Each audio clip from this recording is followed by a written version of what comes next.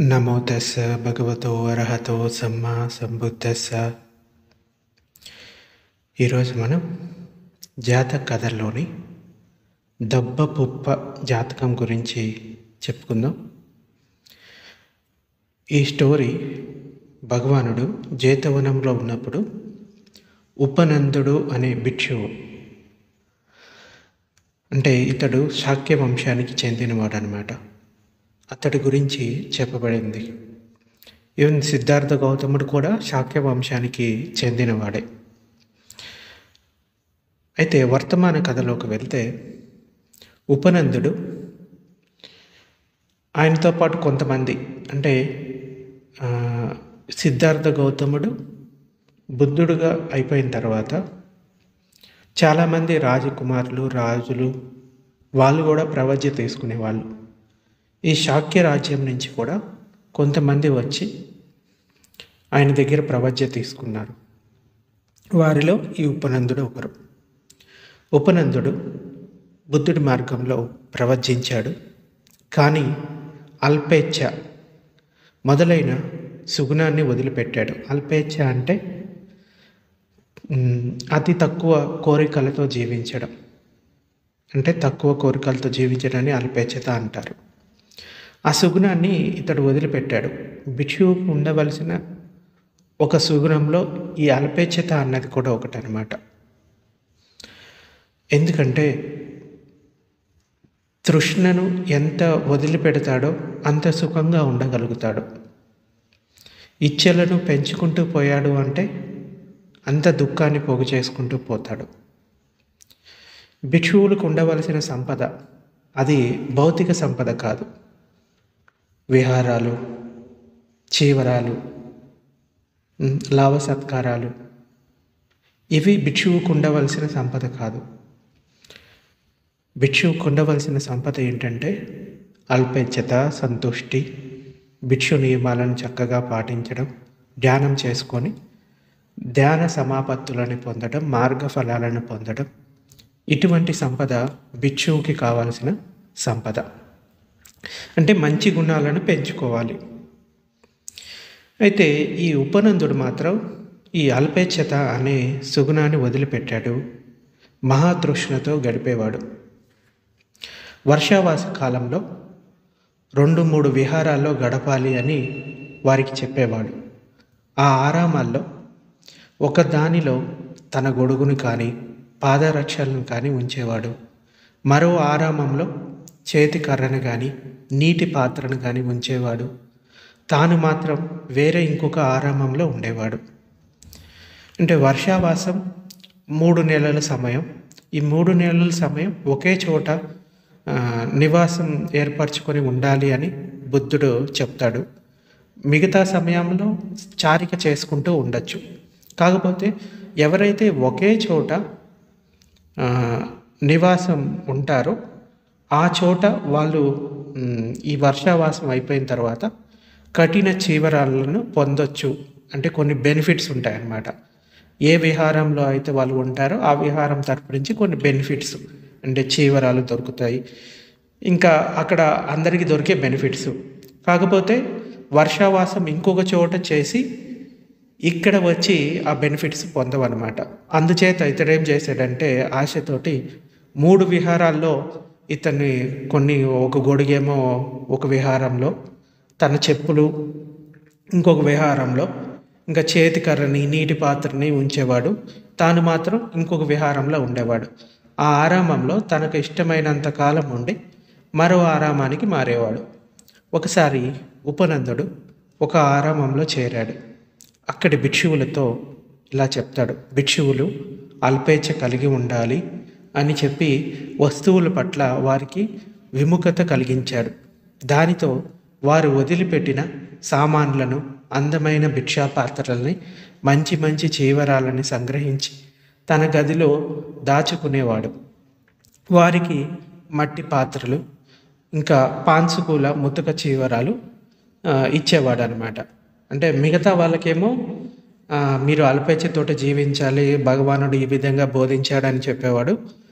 అతడు మాత్రం వీళ్ళందరూ వదిలిపెట్టిన తర్వాత మిగిలిన చివరాలన్నిటినీ లేకపోతే భిక్షాపాత్రలు మంచి మంచి వస్తువులని తీసుకొని దాపెట్టుకునేవాడు. వర్షాకాలం పూర్తి కాగానే తాను సంగ్రహించిన వాటిని అన్నిటినీ ఒక బండి మీద నింపుకొని జేతవనానికి బయలుదేరాడు. ఒక అడవి దారిలో ప్రయాణం సాగిస్తున్నాడు. అక్కడ ఒక విహారం ఉంది. ఆ సమీపంలో అల్లుకుపోయిన కొన్ని తీగలు ఉన్నాయి. అవి అతని కాలికి చుట్టుకున్నాయి. వాటిని బట్టి ఆ ఆరామంలో తనకు ఏవైనా కొన్ని వస్తువులు దొరకవచ్చు అనుకొని ఆగాడు. ఆరామంలోకి వెళ్ళాడు. దీనికి ఒక సామెత కూడా ఉంటుంది. వెతకబోయిన తీగ కాలికొచ్చి చుట్టుకుంది అంటారు కదా. సో ఆ విధంగా తాను ఇంకా ఈ ఆరామంలో కూడా ఏమైనా వస్తువులు దొరకొచ్చేమో అనే ఆగి అక్కడ కూడా వెళ్తాడు. ఆ ఆరామంలో ఇద్దరు వృద్ధ భిక్షువులు ఉన్నారు. వారికి అంతకుముందే రెండు ముతుక చీవరాలు ఒక సన్నగా ఉడికిన శాలువా లభించాయి ఆ ఇద్దరికి వాటిని ఎలా పంచుకోవాలో తెలియక వాటిని అలాగే ఉంచారు. ఈ ఉపనందుడు రాగానే బంతే మాకు వీటిని ఎలా పంచుకోవాలో తెలియడం లేదు పంపకం కుదరట్లేదు.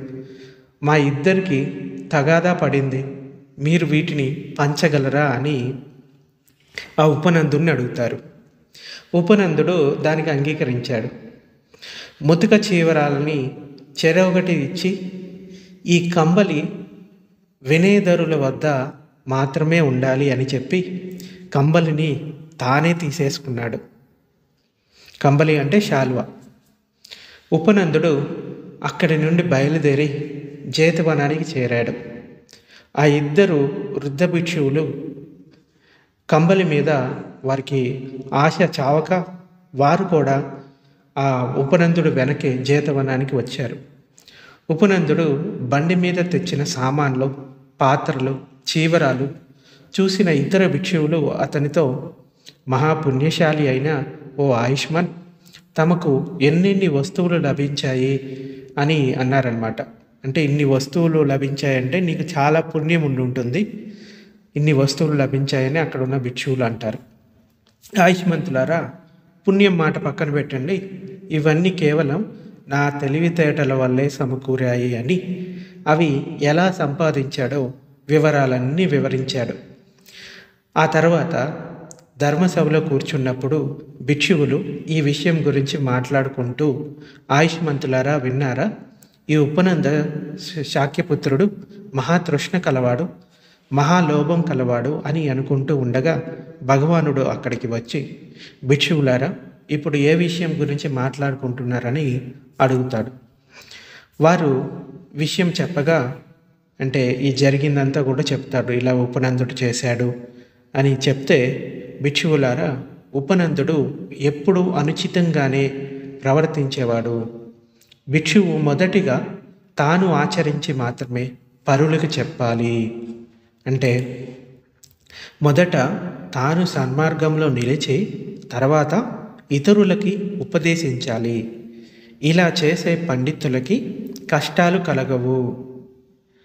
సో ఇతరులకు ఉపదేశించినట్లుగా మొదట తాను నడవాలి. తనను చక్కగా నిగ్రహించుకోవడమే కష్టమైన పని. అంటే ఏదైతే విషయాలను మిగతా వాళ్ళకి అలపేచ్చితో జీవించండి అని లేకపోతే మంచి విషయాలు చెప్తారో లోభాన్ని వదిలిపెట్టండి అని మొదట తన లోపల ఉన్న లోభాన్ని వదిలిపెట్టి తర్వాత మిగతా వాళ్ళకి చెప్పాలి. సో అటువంటి వాళ్ళకి కష్టాలు ఉండవు అని చెప్తున్నాడు. భగవానుడు. భిక్షువులారా అతడు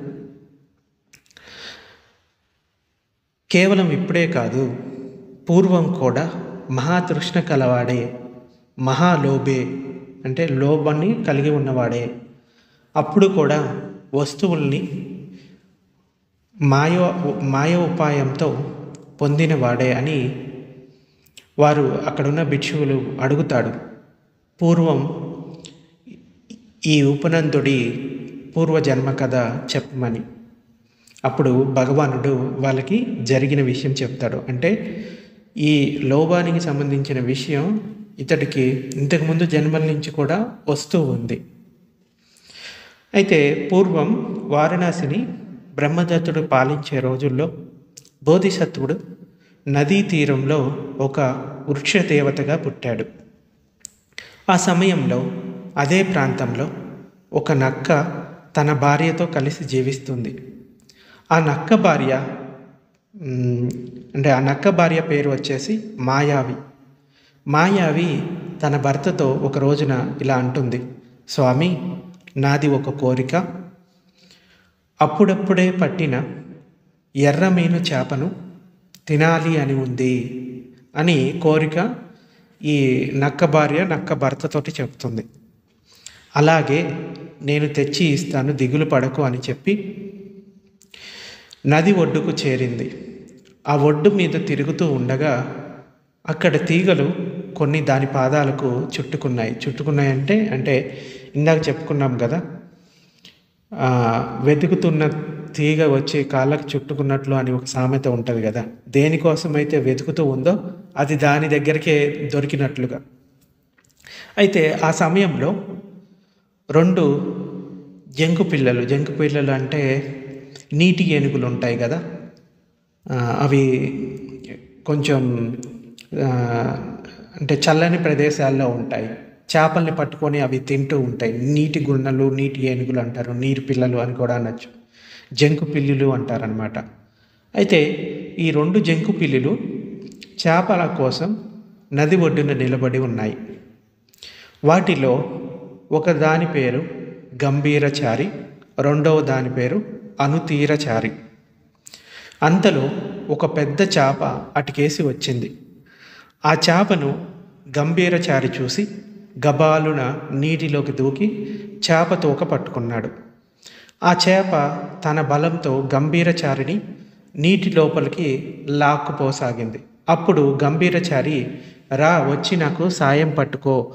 మనమిద్దరం పడితే ఈ చేప లాక్కొని పోదు అని ఈ మిగతా ఈ జంకు పిల్లి అనుతీరచారిని పిలుస్తూ ఇలా చెప్తుంది. నేను పట్టినట్టి చేప నన్ను లాగెను లోనికి లావుతోటి త్వరిత గతినొచ్చి తోడు పట్టవయ్యా ఆగునోయి మేలు అనుతీరచారి. సో ఆ మాటలు విన్న అనుతీరచారి ఇలా అంటుంది. గట్టిగా పట్టుకొనుము గంభీరచారి మేలు కలుగు మనకు ఈ చేప వల్ల. పామును గరుడ పక్షి పట్టి ఈడ్చినట్లు వెలికి ఈడ్చు నటులే వచ్చి నేను. అంటే నేను కూడా వచ్చి దాన్ని పట్టుకొని బయటికి తీసుకొని వస్తాను. ఇలా అంటూ తాను కూడా నీటిలోకి దూకింది. ఆ రెండు కలిసి చేపను నేల మీదకి లాక్కొచ్చాయి. దాన్ని చంపేశాయి ఆ చేపని. తర్వాత దీన్ని నువ్వు పంచు. అంటే ఇద్దరికి రెండు భాగాలు కావాలి. అయితే నువ్వు పంచు అంటే కాదు నువ్వు పంచు అంటూ వాద వాదించుకుంటూ ఉంటున్నాయన్నమాట అక్కడ ఈ రెండు జంకు పిల్లులు. ఖచ్చితంగా ఆ సమయంలో నక్క అక్కడికి వచ్చింది. నక్కను చూసిన రెండు జంకు పిల్లులు ఆహ్వానించి మిత్రమా ఈ చేపని మేమిద్దరం కలిసే పట్టుకున్నాము. కానీ పంపకాలు కుదరక వాదులాడుకుంటున్నాము. అంటే ఏమవుతుందంటే ఈ చేపని రెండు ముక్కలుగా చేసుకుంటే ఒకదానికేమో కొంచెం ఎక్కువ వస్తుంది ఒకదానికేమో కొంచెం తక్కువ వస్తుంది. అలా కాదు ఇద్దరికి సమానంగా కావాలి అని ఇద్దరు పట్టిన పట్టే ఉన్నాయి ఆ రెండు జంకు పిల్లులు. అయితే వీళ్ళిద్దరితోటి తేలట్లేదు అని అక్కడ నక్క వచ్చింది కదా ఇంకా నువ్వు తీర్పు ఇవ్వు అన్నట్లుగా దాన్ని పిలుస్తాయి. అయితే నువ్వు దయతో ఈ చేపను భాగాలు చేసి మా ఇద్దరికి పంచు అని రెండు కలిసి ఇలా చెప్పాయి. సరిగా వినుము మేము చెప్పు మాటలల్లా. పండు దర్భగడ్డి రంగువాడ. ఉభయులకు మధ్యన ఉద్భవించే తగువు. తగిన శాంతి కూర్చు తగువు తీర్చి. సో వారి మాటలు విన్న నక్క తన శక్తియుక్తుల్ని ప్రకటిస్తూ ఈ గాథ పలికింది. నేను న్యాయమూర్తి వాళ్ళే నిలిచి న్యాయములు పూర్వము అంటే పూర్వమందు నుండే పలుకుచుంటి ఉభయలకు అంటే ఇద్దరికి మేలు ఉండు రీతిగానే తీర్పు చెప్పేదా మీ తగువు తీర్చి అని చెప్తుంది. అని ఆ చేపను భాగాలు చేస్తూ ఇలా పలికింది. అనుతీరచారికి అడుగు తోక ముక్క గంభీరచారికి గవద మొక్క ఇంకా తమకు మధ్యనున్న తగువ తీర్చినందుకు గాను నాకు దక్కునయ్య నడుము ముక్క. అంటే అనుతీరచారికేమో తోక ఇస్తాను గంభీరచారికేమో తల భాగము మధ్యలో ఏదైతే భాగం ఉందో నేను మీ ఇద్దరికి న్యాయం చెప్పాను కదా ఆ భాగం నాకు అంటూ నక్క చేపను మూడు భాగాలుగా చేసి మీరు తగువులు పడకండి. తోక భాగం ఒకరు తీసుకోండి. తల భాగం ఒకరు తీసుకోండి. అంటూ నడిమి భాగాన్ని నోట కరుచుకొని వారు చూస్తూ ఉండగానే అక్కడి నుండి పారిపోయింది. ఆ రెండు వేలాది ధనం పోగొట్టుకున్న వారిలా ముఖాన్ని నేలకేసి వాల్చి చతికిలపడి ఈ గాథలు పలికాయి. ఏమనంటే చేప మాంసంబును చాలా కాలము పాటు తినేడి వారము. తగువు లేకయున్న మోసకారి నక్క మంచి ముక్క పట్టి దౌడు తీయుచున్నది దొంగిలించి. అలా మంచి చేప ముక్కను తీసుకొని వెళ్తూ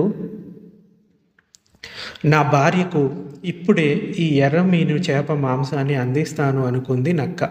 నక్క అక్కడికి పోగానే ఆడనక్క తన భర్తను అభినందిస్తూ ఇలా చెప్తుంది. పెద్ద రాజ్యం ఎల్ల పొందినండు పొందినప్పుడు రాజు పరమ సంతసమును పొందినట్లు పెద్ద చేప ముక్క పట్టి తెచ్చి ఇచ్చు. పెనిమిటి నిన్ను చూసి పొందినాను. అంటే ఒక రాజు పెద్ద రాజ్యముని పొందినప్పుడు ఎంత సంతోషమైతే పొందుతాడో నువ్వు తీసుకొచ్చిన ఈ చేప ముక్క వల్ల అటువంటి సంతోషాన్ని నేను కూడా పొందుతున్నాను అని చెప్తుంది. అంటూ ఈ చేప నీకెలా దొరికింది అని ఆ ఆడనక్క మగనక్కను అడుగుతుంది. నీవు గడప వలెను నేల మీద ఎప్పుడు? చేరి జలము నుండు చేప ఎప్పుడు? నీటిలోని చేప నీకు ఏల చిక్కే సౌమ్యుడా? కథ ఏమి చెప్పవయ్యా. అంటే ఈ నక్క ఎప్పుడూ కూడా నేల మీద నడుస్తూ ఉంటుంది. చేప మాత్రం నీటిలో ఉంటుంది. మరి అటువంటిది ఈ చేప ముక్క నీకు ఎలా దొరికింది అని భార్య అడుగుతుంది. భార్య ప్రశ్నలకు సమాధానంగా ఆ చేప తనకు ఏ ఉపాయం వల్ల లభించిందో చెప్తూ ఈ గాథ పలికింది. తీర్చ నలవి కాని తెగని తగువు వల్ల తుదకు సంపదలెల్లా తరిగిపోవు. జగడ మాడుకున్న జంకు పిల్లుల వల్ల చిక్కినాది నాకు చాప ముక్క. తినుము మాయావి తినుము నీవు. అంటే తీర్చలేనటువంటి తెగని తగువుల వల్ల తుదకు సంపదలెల్లా తరిగిపోవు. అంటే నాకు కావాలి అంటే నాకు కావాలి నాకు కావాలి అంటే నాకు కావాలి అని తగువులు పెంచుకుంటూ పోతారు. ఇది నాకే కావాలి అని. ఇందాక ఆ రెండు జంకు పిల్లులు ఇది నాకు కావాలి అంటే నాకు కావాలి అని తగులు ఆడుకుంటూ పోయాయి. చివరికి సంపదలన్నీ కూడా తరిగిపోతాయి ఆ తగువుల వల్ల. ఇలా జగడం ఆడుకున్న జంకు పిల్లుల వల్ల నాకు ఈ చేప ముక్క దొరికింది. అవి రెండు గొడవ పడ్డాయి కాబట్టి నాకు ఈ చేప ముక్క దొరికింది. అంటే వాటి గొడవ తీరుస్తానని చెప్పి ఇదేం చేసింది? ఒక ముక్క తీసుకొని వచ్చేసింది అనమాట అయితే జనులు ఈ రీతిగా జగడమాడుచుకొనుచు న్యాయాధిపతి కడకు ఏగుచుందురు. తగువు తీర్చి ఏతడు తీర్పు చెప్పుసరికి ఉన్న సంపదల్లా ఒట్టిపోవు మనకు. ఆ, రాజకోశమల్లా వృద్ధి పొందు కడకు. సో ఈ విధంగా ఇలా జగడమాడుకుంటూ పోవడం వల్ల అది వీళ్ళకి నష్టం జరుగుతుంది.